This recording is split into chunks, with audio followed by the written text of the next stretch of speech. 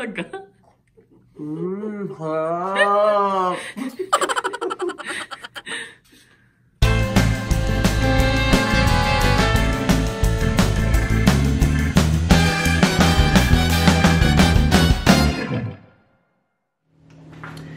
What's up mga kamamon? Welcome back sa ating channel. And ngayon, ang ituturo ko sa inyo ay kung paano gumawa ng cake pop. Galing sa tinabas. Alright? Ayan. Ito yung pinagtabasan ng cake sa mga gilid-gilid, sa top. So ngayon, samahan nyo ako. Tuturuan ko kayo gumawa ng cake pop. Alright? So ngayon guys, ang kailangan lang natin ay yung pinagtabasan nyo and chocolate. Ayan. Dahil may sobra tayong chocolate kahapon dahil may nag-order sa atin ng cake pop. So, gagamitin natin siya. Ayan. And ipapakita ko sa inyo kung paano ginawa to. Okay? So, ngayon, dahil galing siya sa chiller, ma malamig pa siya, ah, matigas siya. Kailangan lang natin siyang initin. Tapos, ihahalo natin dito. So, ipapakita ko sa inyo guys. Later. Okay. So, ayun guys. Eto, tunaw na siya. Ayan. Tapos, ang gagawin natin, ihahalo natin siya dito sa pinagtabasan. Ayan. Ayan, ibinuhos ko na siya. So, nasa sa inyo kung siguro, ang kailangan lang na texture natin is yung magdikit-dikit siya. Ang timbang niya siguro is, pag may isang kilo kayong tinabas, siguro mga um, 300 grams, 300 grams na chocolate. Pwede na yun. So, ayan. Ngayon, imimix natin siya, guys. Pakita ko sa inyo. So, ito yung tinabas natin, guys. Imimix natin siya. Ayan.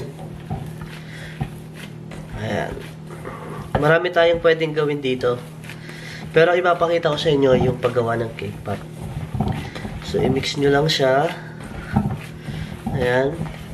Hanggang hanggang madurog lahat. Okay?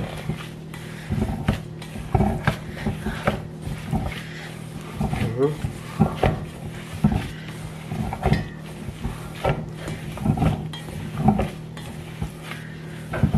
Ayan.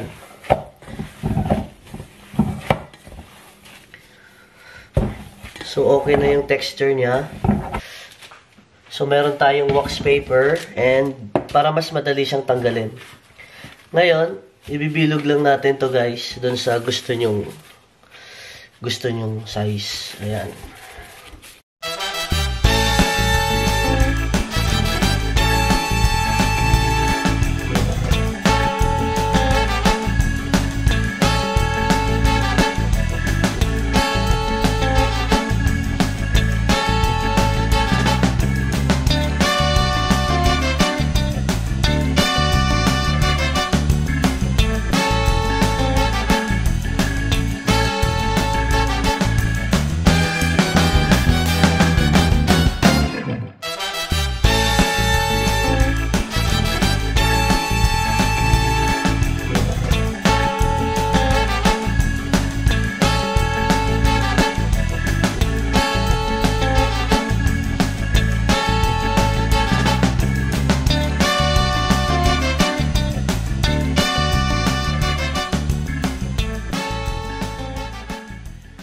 So, ayun guys, meron na tayong one dozen na bilog-bilog. So, lalagyan natin siya ng stick. So, papakita ko sa inyo yung, ano, yung sample kahapon. Ito yung in-order niya. Ayan. Ayan. Siyempre, kung madami yung gagawin nyo, kailangan nyo na talaga magluto ng para dun sa cake pop lang. Okay? Lalo pag walang tinabas. Okay? So, ngayon, dahil may sobra tayo guys, may sobra tayong tinabas, meron pa tayong gagawin para dito. Okay? So, sige. Nude lang kayo. So, ngayon guys, ang next natin gagawin ay yung sobrang tinabas. Ito siya. Ayan. Ayan guys.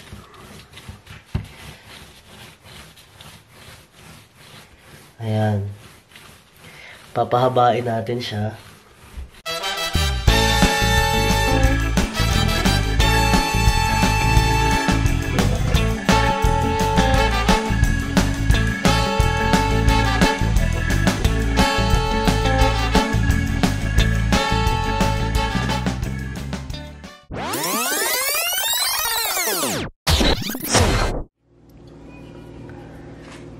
So, maglagay tayo ng ganito.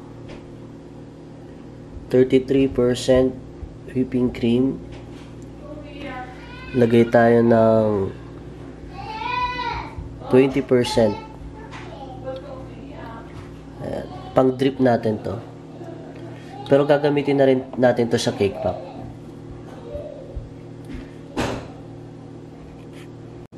And kailangan natin ng chocolate. White chocolate. So, antayin natin siyang kumulo.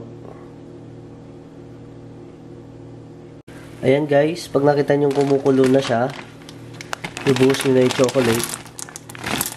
Ayan.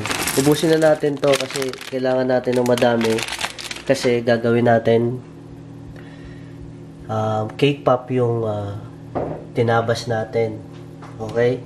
So, ito, tatanggalin na natin siya. Patay na natin yung kalan. Tapos, lagyan na natin dito.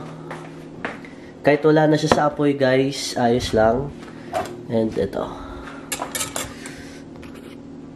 Ayan. Matutunaw na siya. Pang drip lang natin to sa cake. Ayan.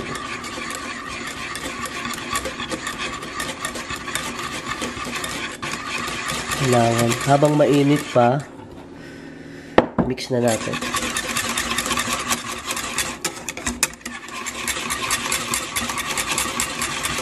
So, ang ratio niya is 20% cream and chocolate 80%.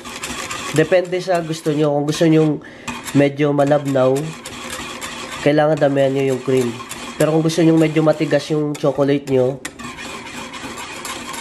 um, kunti lang yung ilagay yung cream. Okay, especially sa cake pop, kailangan matigas yung ano niya, yung yung chocolate. So ayan. So kailangan walang chocolate na tira. Ayan. Alright. Tunaw tayo ng uh, ito yung chocolate. Purong chocolate siya. Ngayon, lalagyan na natin to ng stick.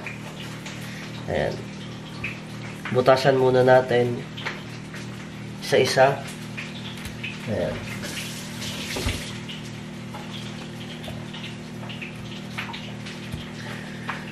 Depende kung anong gusto nyong klaseng uh, cake pop ang gagawin nyo. Kung nakataob o nakatayo. Pag nakatayo, dito kayo maglalagay sa ilalim. Ayan. Pero hintayin nyo muna siyang tumigas. Kailangan i-freezer nyo muna siya. Pero kami, ang gagawin namin, nasa cups na lang siya. Para wala kasi kaming stand. Kaya ika-cups na lang namin. So, kailangan namin ng chocolate. Ito. Tapos ilalagay na natin dyan.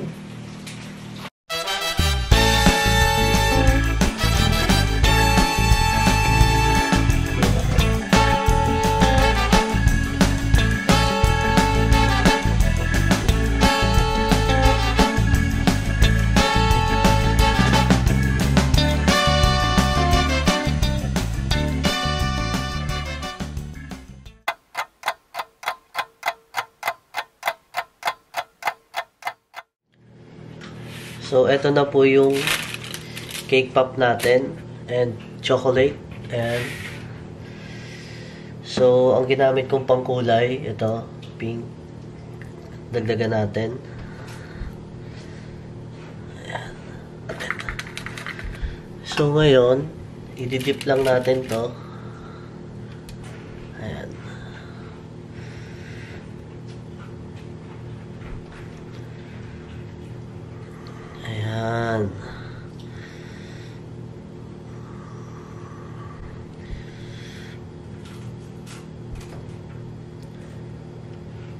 Okay.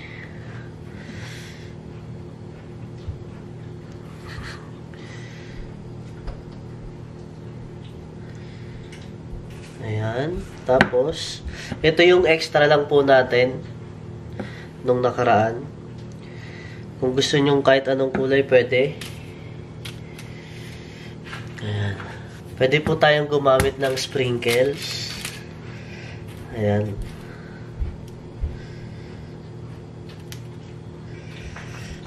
Tapos po, ilagay natin sa cups. Ayan.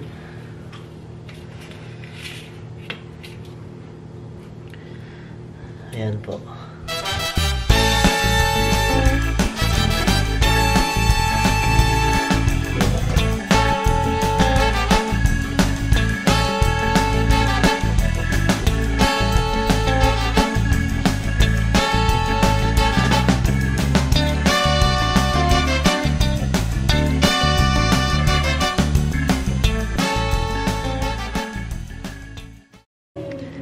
Ayan, ang ininext po natin ay dilaw. Ayan. Yung, yung pink kasi, guys, na ginamit natin, extra siya dito sa, sa drip. Ayan. So, kaya ginamit na natin siyang, ayan, para sa scratch, di ba? Pangbigay na lang din namin to.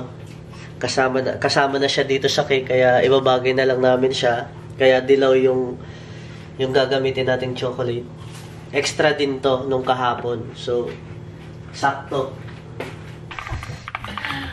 Ayan, mix lang natin, guys. Ngayon, ang gagamitin naman natin is yung gold. Sige nga, subukan niya natin. Ayan.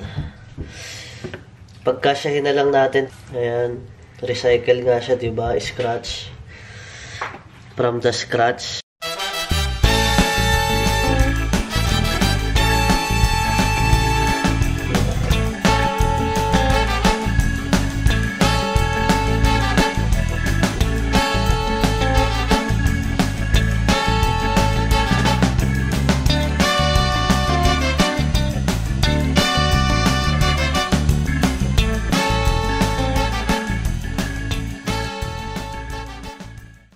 Po, ubus na siya. Eksakto yung ano natin. So, kaysa itapon natin yung ano,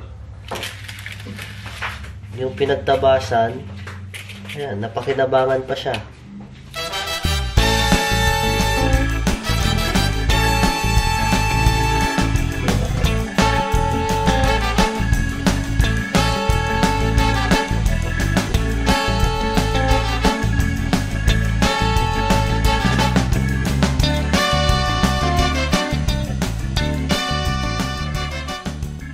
Ngayon guys, ang susunod natin gagawin, ito, yung ginawa natin, binilog natin. Ayan. Ang kailangan lang natin ay fondant. So, harina.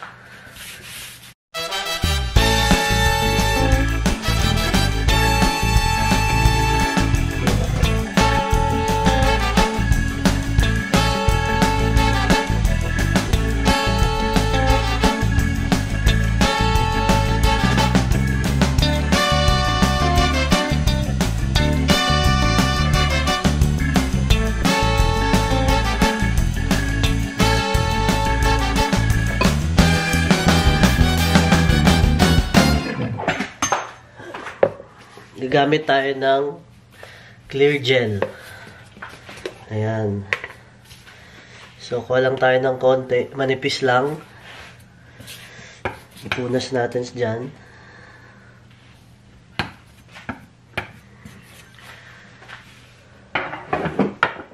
Pag nalagyan na guys, ilagay na natin to. Tapos paikot natin. Alright. Ayan. Then, cut natin siya.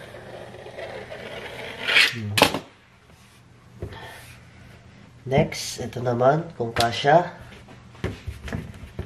Ayan. I-flat lang natin siya.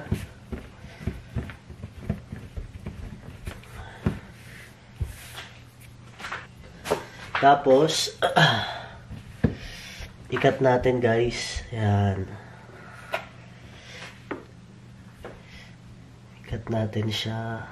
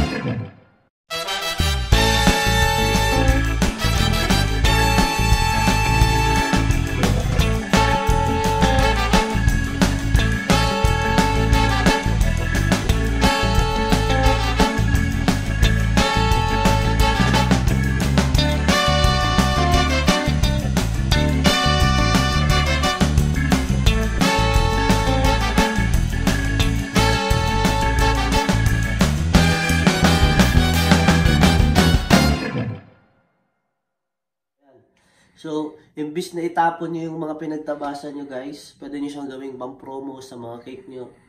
Kung gumagawa kayo ng, ng cake, pwede nyo siyang gamitin plus 12 dozen or plus, depende na kayo kung anong gusto nyong promo. Pero magagamit nyo pa rin yung pinagtabasan nyo. So, ayun guys, ito na yung ginamit natin galing sa scratch. Yung ginawa natin from the scratch. And, ito, cake pop siya. And ito naman, kayo na bahala kung anong gusto nyo ipangalan dito. So, sana may natutunan kayo. And, kung may natutunan kayo, don't forget to subscribe. And click nyo na rin yung bell para ma-notify kayo. And titikman natin guys.